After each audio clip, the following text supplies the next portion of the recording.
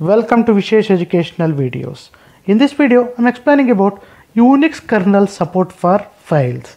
That means when a kernel create a new file or when a kernel opens a new file, how it's going to do that? What is the process it's going to use when opening a particular file, right? So that process of opening a file right in a Unix operating system by kernel is explained in this video. So if you are not subscribed to my channel, please subscribe to my channel. Please don't forget to like the video. Please don't forget to share the video with your friends. To get the notification of my new videos, please click the bell icon. So let me begin the explanation of kernel support for files. How a kernel is going to manage the file, right? So in Unix system V, the kernel maintains three different types of tables. One is a file table, right? So you can see there in this diagram, uh, one is a file table, one is a file descriptor table, and one is a uh, uh, inode table. We need these three tables. So file table uh, contains right? A file table has an entry of all the opened files. So file table contains the entry of all the files that are opened. And also there is an inode table that contains a copy of file inodes that are most recently accessed. Inodes are nothing but when a file is created uh, the entire file information will be maintained in the inode table for example file attribute information the data that is present in the particular file the data information all those information will be maintained in a inode table for each file that is created right? So these are the files uh, sorry these are the tables that are maintained by kernel and a process also is going to main, maintain the table that is process descriptor table. Kernel is going to maintain a file table and the inode table process is going to maintain the file descriptor table. You can see there file descriptor table it is process space. File table and inode table are nothing but a kernel space. Getting guys? So see. So a process which gets created when a command is executed will be having its own data space. That means whenever you create a process whenever a process is created process will be assigned with its own data space and process is going to store the file descriptor of a particular files in its own space. So process is also going to maintain the file descriptors in its own space using a file descriptor table. Getting guys? So what are the three tables we have discussed? So far the kernel maintains a file table and the inode table. File table contains the uh, details of all the opened files. That is the important and inode table contains right the details of all the files with inode number and also the data of the particular file right? Process file uh, sorry process will also maintain a table. That is a file descriptor table to store the uh, file descriptors in its own space.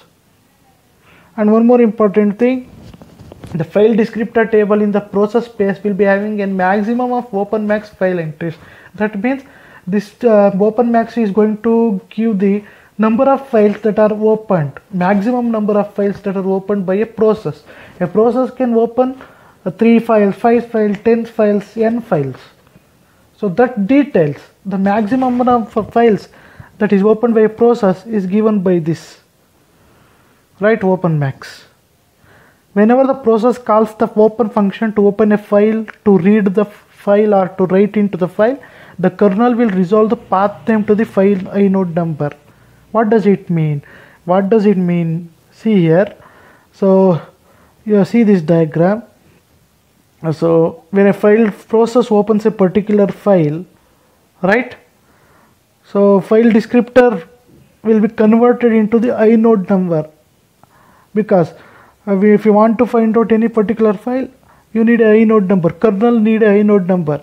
The file descriptor format should be changed to the inode number because file descriptor is in the process space. That won't be understood by the kernel. That's why your file descriptor should be converted into inode format. Then only your kernel can understand it and it can access the particular file. Getting guys? Hope you are understanding so three types of files we need. Right? Next. What are the steps involved here? Simple. Uh, the kernel will search for the process descriptor table and look for the first unused entry. If a entry is found the entry will be designated to reference the file. And the index of the entry will be returned to the process as the file descriptor of the opened file I will explain this. Don't worry. I will take the diagram and I will explain. Next, the kernel will scan the file table in its kernel space to find a user entry that can be accessed assigned to reference the file. What does it mean? Don't get confused here. For example, so you created a file. So what it does means it is going to search for the unused entry in the file descriptor table you are creating a new file. Uh, it is a kernel is trying to open a new file. What it does first it will search for the uh, unused entry empty space in the file descriptor table. Then only it can open it right? If a file descriptor table is full it can't uh, create a new file or it can't open a particular file. That's why it is uh, it will check for the empty entry in the file descriptor table. So if uh, unused entry is found. What happens? The process file descriptor table entry will be set to point to the file table entry. You can see there. So empty space is found in the file descriptor table. Process what is going to do? It is going to uh, map the particular file descriptor of the process table to the file table. That means opened your file will be opened and it will be stored in the file table. I already told you file table will be used to store the uh, files that are opened. It created process created the file and it is opened it and it will be there in the file table. Next the file table entry will be fed to point to the inode table entry where the inode record of the file is stored. Next file table will be set to the pointer. File table pointer will be set to the inode table. Why inode table? File is open but the contents details of the file the attribute details of the file are stored in the inode table right? That's why file table point file table entry should be pointed to the inode table entry hope you are understanding guys. Very simple. See here. When a process wants to create a particular file it will search for the unused entry in the file descriptor file. If unused entry is found uh, it will assign that to the file table. That means it is going to create it is going to assign file descriptor address for a particular file and it's going to open that file and it stores that file in the file table so if you want to access the contents of that particular file, you can't do that in a file table. All the contents are there in the inode table. That's why the entry should be made in the inode table also. File table to inode table. First file descriptor table to file table, then file table to inode table. Getting guys, hope you are understanding. Suppose if you have any doubts, please post your doubts in the comment section. Right? Next. So you can see here the file table entry will contain the current file pointer of the open file. So this is an offset from the beginning of the file where the next read write will occur. So uh, it is very simple. In a file table, uh, what happens means, so when a particular file is assigned uh, in a file table, it contains a offset. Offset means address. So yes, file is open. Now file is open if you want to read from that file where you where you have to start? Suppose if you want to write to that file where you have to start? The details will be also there in the file table. Yes you created the file your file is open and is there in the file table and there will be pointer from where to start reading or there will be a pointer from where to start writing. Hope you're understanding file is open from which line you have to start reading or from which line you have to start uh, writing that address that offset information will also be there for a file table hope you're understanding Next, the file table entry will contain a open mode. Open mode means very simple. You can see there. So in this, for example, in this file descriptor table, that particular process opened how many files here? Three files. One is for reading, one is for reading, writing, and one is for writing. That is open mode. Open mode. Yes, my file is opened. For what purpose? It may be open for reading, it may be open for writing, or it may be open for both for both reading and writing so according to this diagram a particular process is opened how many files here three files this process is maintaining the descriptors of three files so one is open for reading one is open for writing and one is open for reading and writing. And also each file is maintained with a reference count. See what is a reference count? The reference count in that file table entry is set to 1 always it will be set to 1 what does it mean? Reference count is used to keep track of how many file descriptors from any process are referring the entry. For example this process? How many uh, for example how many files but the particular process is accessing? Here this process is accessing total how many files?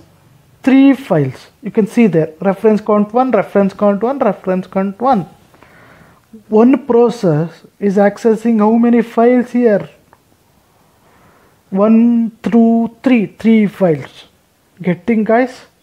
Getting so reference count is used for that purpose hope you're understanding guys next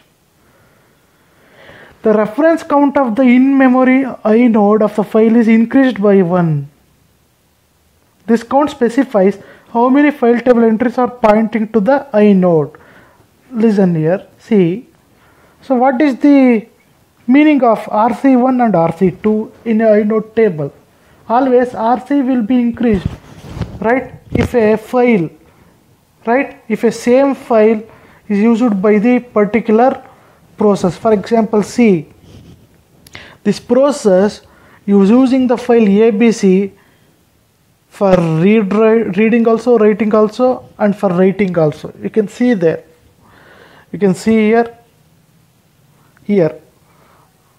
This abc the contents of a particular file abc is accessed by right see how many how many files? 2, 2 opened files. Getting guys?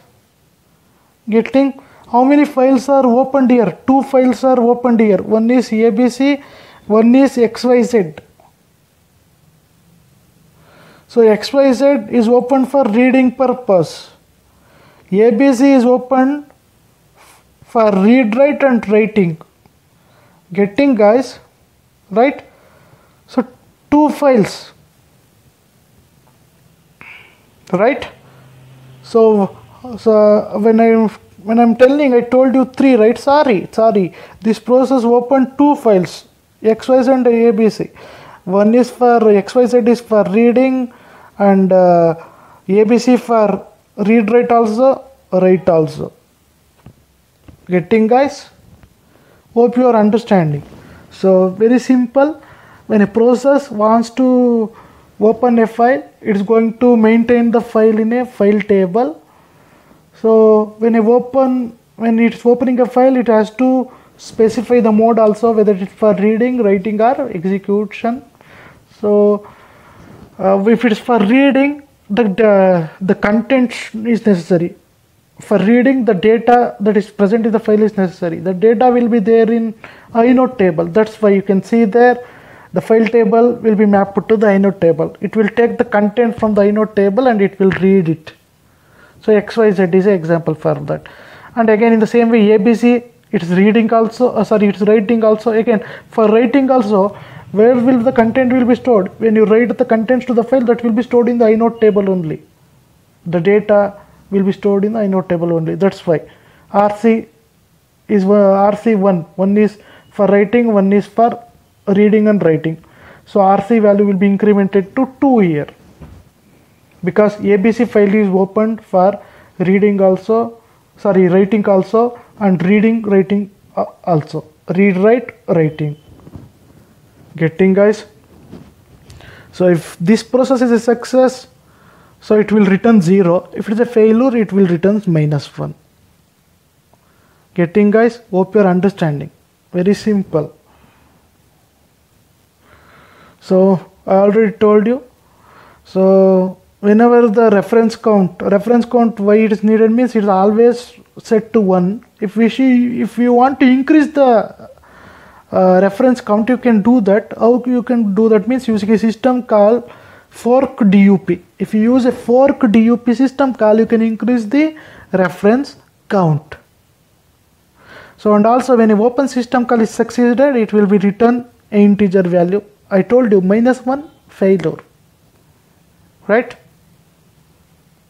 So whenever the process wants to read or write from a file it should use the file descriptor as one of its argument for example see so here this descriptor information that is present in the process page is also needed for the profile table and also for the inode table because I, I need to know. Next uh, the following events will occur whenever a process calls the close function. Close function close means you are closing the file. What happens? The kernel sets the corresponding file descriptor table entry to be unused. Again it's going to remove the details and this uh, entries in the file descriptor table uh, entries in the file descriptor table will be matched to unused. Right? Next.